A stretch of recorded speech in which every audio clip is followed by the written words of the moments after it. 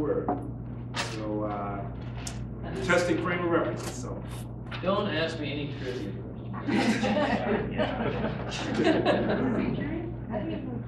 Greg? When were the dinosaurs created? questions. On day six. Nice. Uh, I was talking to Dave a little bit uh, this morning, but I want to get uh, your guys' uh, view on it. Uh, dealing with uh, people within the, the church, uh, assuming Christian, um, they have the viewpoint of worshiping God more with the emotions, and they pretty much see people like us as uh, worshiping God through the intellect, and it's, it's not good. It's not. Um, uh, it's not the way. How do you deal gently, lovingly with uh, people that view? Because you can bring the scripture to them, and you can you can talk about scripture, and they say they value scripture, but they really don't. Yes, like it's not spiritual. Uh, yeah, like it's kind of a, uh, it's sort of in a different way, uh, kind of anti-intellectual attitude Yeah, it's, towards Christianity. and it, it, I like what Francis Schaeffer used to define true spirituality as, as propositional truth plus personal relationship. And it's, it's not either or, it's both and. There's no such thing as, you know, asking God for forgiveness, dear Lord, I, I've attained too high a level of propositional truth, I need to cut it back, I'm sorry. I, I learned too many truths about you. You can't have too much of that, and you can't say, oh, Lord, forgive me, I'm experiencing you too much. Uh, but the problem is, is when you try to have one at the expense of the other.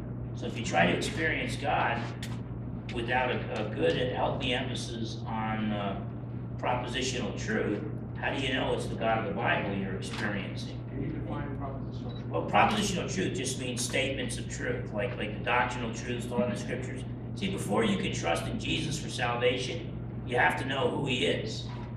And so there's certain truths about Jesus that you have to believe with your mind before you can then commit to him and trust in him for salvation and then enter into that personal relationship um, uh, with him. So it's, it's like Jesus said, true worship is God is spirit, those who worship him worship in spirit and in truth. Jesus said of the Pharisees, you guys search the scriptures daily, thinking that in them you have eternal life, but the scriptures speak of me. And in me you have life, but you guys are refusing to come to me. So so it, it's not either or, it's it's both and. And if we if we try to have uh, experience of God without based on biblical truth, we're probably going to end up worshiping a false God. Uh, but if we try to have the doctrinal truth without that personal relationship with the Lord, we're liable to just get a, a bunch of head knowledge and and uh, and uh, you know you, you could memorize John three sixteen, you could break it down, you could understand it in the English and in the Greek, but if you don't apply it to your life and actually enter into that faith uh, relationship with the Lord Jesus, you're still not saved. So I, I would just I would just encourage her to take up the passages like that and like Isaiah 118 where God says, Come let us reason and say, I, I commend you, find that common ground, I commend you um, for seeking God's face. Um, but you also have to seek the mind of God as well. And and you know, if God wanted to, he would have he, he could have given us a tract, but he didn't. He gave us a big book, the Bible. If this was an easy book to interpret, we wouldn't even have this conference.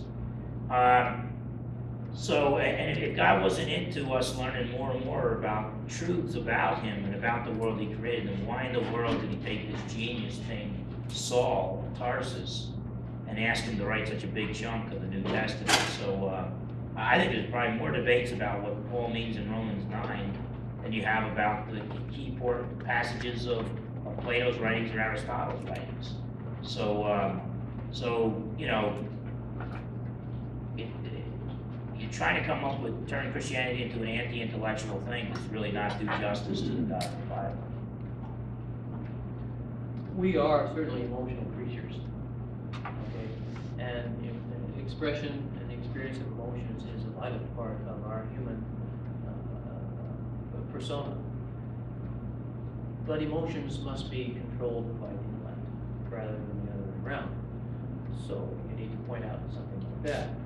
And from the standpoint of the scriptures, uh, you can demonstrate the emotional life through the whole issue of music, which uh, is your expertise, so there's the emotional side of it. But our musical appreciation as well as our emotions uh, must be governed by our knowledge uh, of God based on the scriptures.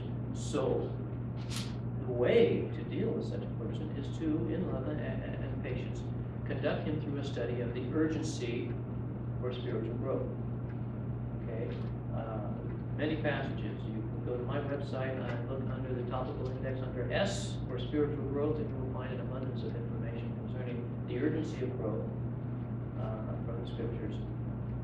Uh, which, and the references can be used all or, or partial to explain to this person, which can be summed up by the statement uh, of Peter at the end of his second letter, but grow in the grace and knowledge of our Lord and Savior Jesus Christ. Uh, This is the issue in our Christianity, is is to grow in knowledge. Emotions cannot be eliminated from the equation. And in fact, with proper knowledge, emotions will naturally express themselves. Okay? But if we put the cart, Byproduct. as a byproduct, uh, but if we put the cart before the horse, then emotions will dictate our relationship with God, our experience with God, and that's where all kinds of distortion comes in. I feel this way. This is what I feel. God told me. I felt the Holy Spirit. Okay, I felt this, I felt that. Instead of letting the Word of God dictate what God has revealed, instead of how I feel.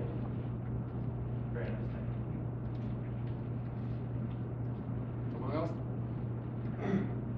Oh, everybody, uh, in Christianity, I think sometimes it's the feeling that they have to go out and save people.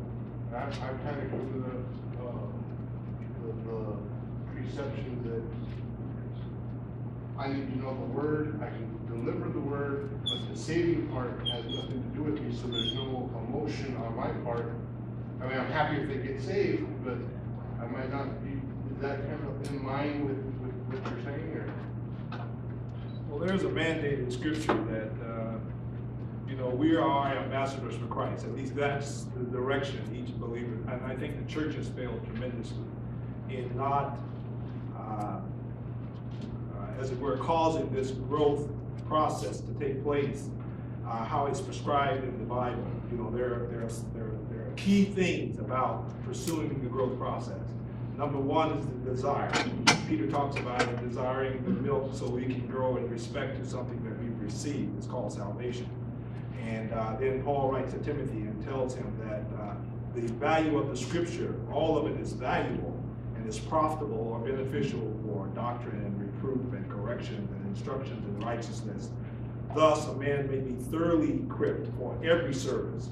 So until a person is thoroughly equipped, it seems to me that we are sending people out in the fray a little bit prematurely, you know. But uh, to attain to that concept or the mindset of ambassadorship is what the pursuit should be, and not so much because God has put in place, and we have to trust and rest in the fact that what is going to happen where salvation is going to occur is that every person that was foreknown by God will be saved. Now, how quickly do you want to participate in that activity? Because God allows us to participate in that activity. And when we are prepared, when we have a workable use of the gospel, and we're able to present it in a manner where it can be received as truth.